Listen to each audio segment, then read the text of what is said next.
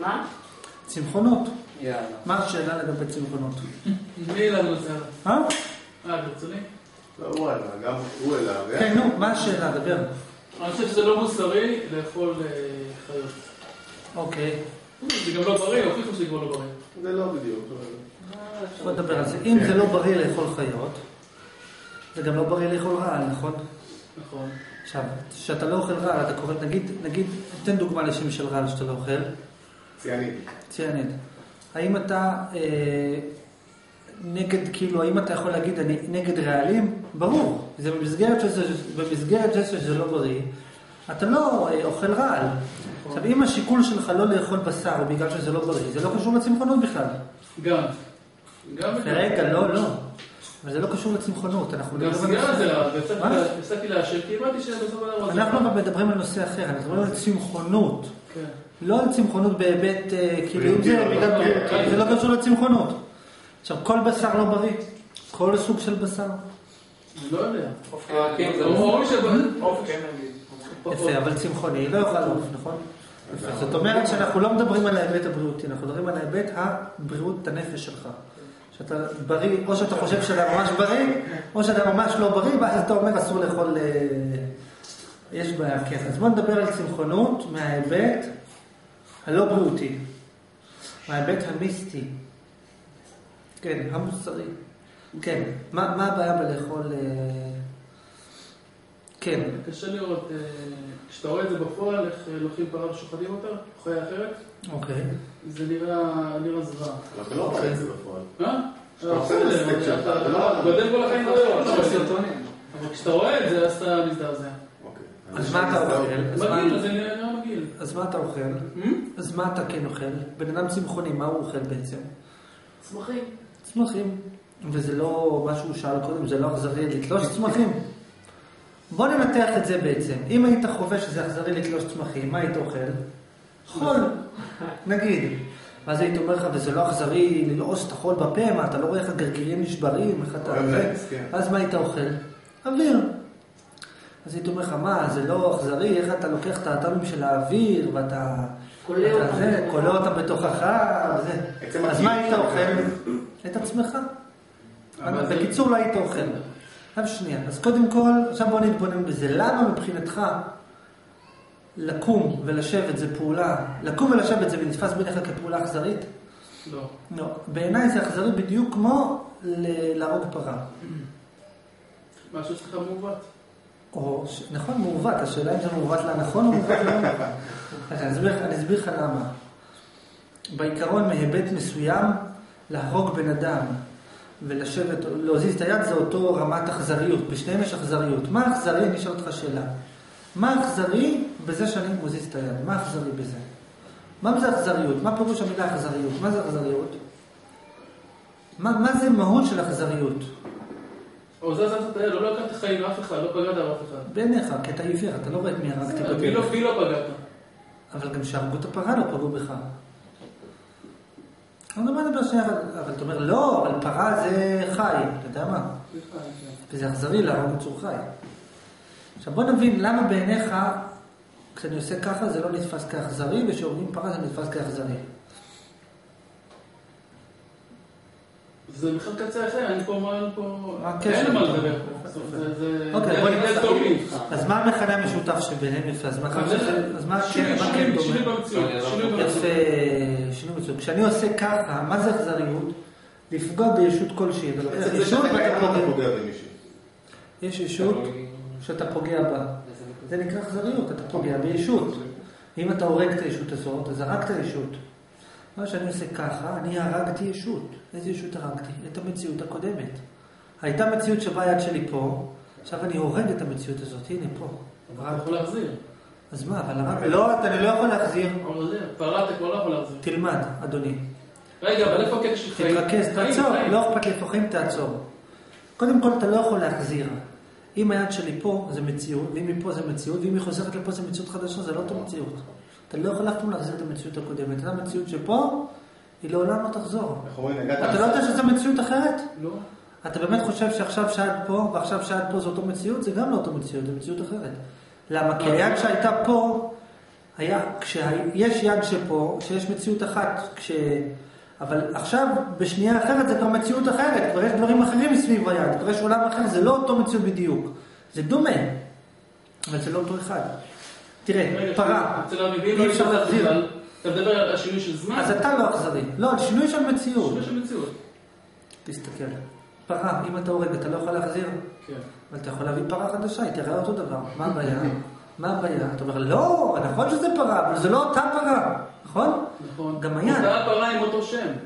גם נכון, נקרא לזה באותו שם, מה הבעיה? לא, אבל זה לא אותו, והיא גם תראה אותו דבר. אתה אפילו לא תדע להבדיל. אומר, לא, אבל אני יודע שזו הייתה פרה אחרת. נכון? כן. אם הייתה הנדסה גנטית, שהפרה הזאת שהורגים אותה, משכפלים, מביאים אחד חדש למקומו. זה היה עדיין אכזרי בעיניך או לא? כן. נכון, אז מה אם זה אותו אחד? אז מה אם זה נראה אותו דבר? אבל זה לא אותו אחד, בקודם הרע. נכון. היד הזאת שהיא מפריע פה? רגע, חכי. מפריע לו שאנחנו מנסים להבין משהו ואת עוברת נושא. אנחנו מנסים להבין. עכשיו, יש פה יד, אין פה יד. עכשיו, יש פה יד, זה לא אותו יד, זה רק נראה לך אותו דבר, אבל זה כבר יד אחרת, עולם אחר, מציאות אחרת. עכשיו, זאת אומרת שזה אכזרי, בדיוק כמו, ומה זה פרה? בתכלס, מה שונה פרה מתה מפרה חיה? מה שונה? רק צורה, לקחו את אותו גוף, את אותו רכיבי אטומי, ועכשיו במקום שהאטומים האלה מסודרים ככה, הם מסודרים אחרת. נכון? פרה מתה ופרה חיה, מה ההבדל בתכלס? שיש אטומים מסוימים, שעכשיו האטומים מסודרים בסדר לא, מסוים. כאילו, לא כאילו, לא... לא, אפילו חתכת אותה לחתיכות. מה ההבדל? שהיה לך אטומים, היה חומר מסוים, פלסטלינה. קודם הפלסטלינה הייתה בצורה של פרה מדברת, עכשיו הפלסטלינה בצורה של חתיכות של פרה. נכון? יש עוד- קרה עוד שינוי. כן. מה עוד השתנה? החיים שלו הלכו. היה שם איזה מה חלק זה אומר חיים? מה, מה, לא נכון, החיים שלה לא נכון. מה שהקודם קם גם עכשיו, רק הצורה ש, שהחומר של הפרה מבטא את עצמו השתנתה. קודם הפרה, החומר שממנו עשוי הפרה, מה זה פרה? זה חומר שמתנהג בצורה מסוימת. מה עם המהות? המהות לא השתנתה, המהות, אתה הרגת את המהות, הרגת את הגוף, נכון? את האמת, את האמת, נכון? לא לא? אתה לא בטוח? תבדוק. אבל. המהות בחרה להיות בפרה, להיות עם הפרה הזאת. אז עכשיו היא בפרה. אה, אז עכשיו אתה בכלל לא אכפת לך שהרגת את הפרה, אכפת לך שעכשיו הנשמה של יש שם הפרה... איזה ניצוץ של חיות שאני ניתקתי ביניהם. לא הבנתי, מה- איך- מה זה אומר ניתקת ביניהם? בפרה, הפרה זה לא רק חפץ. זה, יש שם ניצוץ של חיות. כן, גם עכשיו הוא קיים אבל, לא השתנה כלום. לא, אבל הניצוץ הזה רצה להיות בפרה. איך אתה יודע? איך אתה יודע? איך אתה? אולי הוא רצה להיות בבטן שלך. ככה אני מרגיש. אה? אני ברור שזה מה שאתה מרגיש. אני שואל למה אתה מרגיש את זה. אני מרגיש שיש פה תנינים. נראה לי טבעי להרגיש ככה. למה אתה בורח? כי יש פה תנינים. אבל למה אתה מרגיש שיש פה תנינים? אין פה תנינים. לא, זה מה שאני מרגיש. זה טבעי לי להרגיש שיש פה תנינים. אבל אין פה תנינים. למה אתה מרגיש שהניצוץ רוצה להיות בצורת פרה? אולי הניצוץ רוצה להיות בצורת סטייק. איך אתה החלטת שהוא מה הוא אני רוצה? מאמין באלוהים, אם אלוהים ייצר את זה ככה? נכון, אבל הוא גם יצר ככה. אבל הוא גם יצר, לא, קודם כל, לא, קודם כל זה לא נכון, לא רגע. קודם כל זה לא נכון, אלוהים לא יצר את הפרה ככה. אלוהים בכלל לא יצר את הפרה.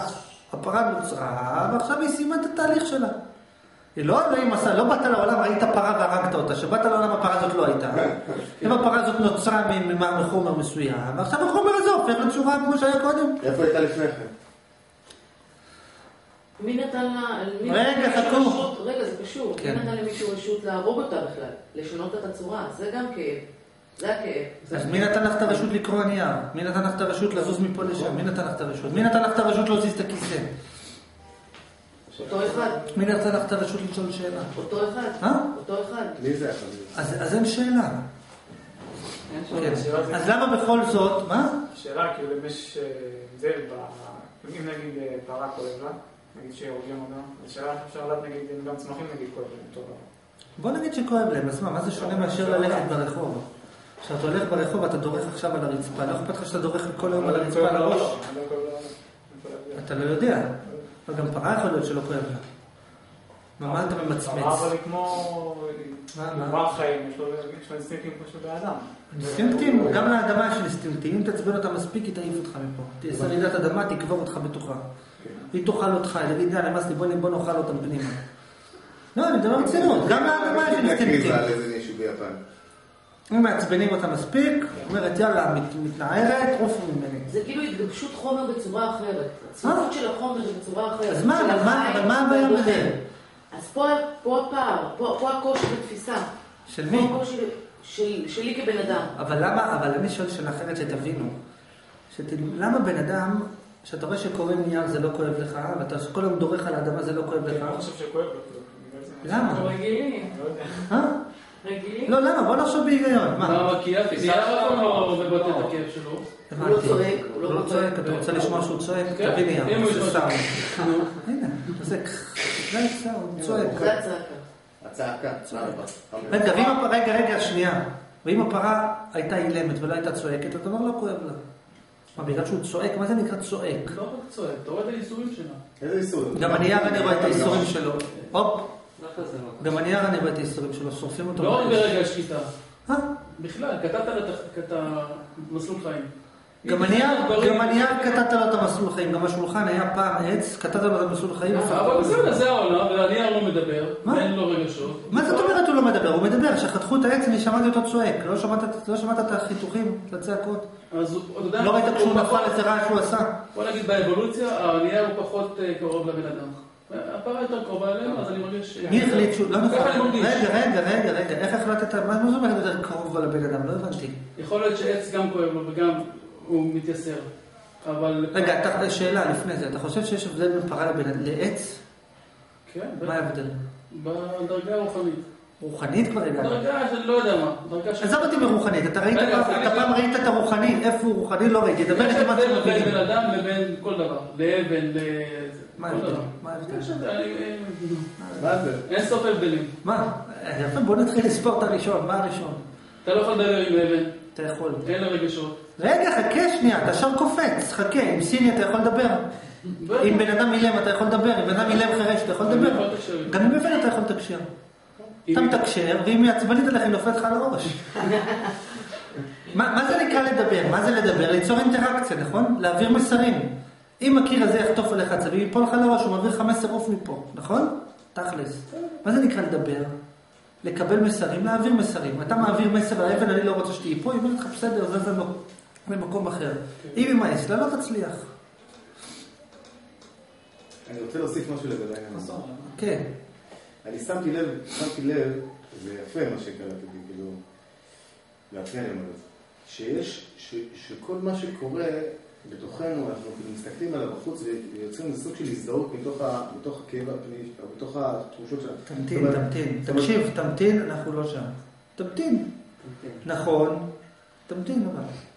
תמתין. אנחנו עכשיו רוצים להתמקד בהבנה מה ההבדל. כן, מה ההבדל? לא הבנתי מה ההבדל. מה ההבדל בינך לבין אבן, נגיד. עם אבן אי אפשר לדבר. עכשיו מישהו ש... אם עכשיו היו אומרים לך שמשמידים את כל הסינים, נגיד. היה אכפת לך? אכפת לך להשמיד אותם, נכון? אבל אתה לא יכול לדבר איתם עכשיו, הם בסין. אתה אומר, לא, אבל אני תיאורטית יכול להתקשר ולדבר איתם, נכון?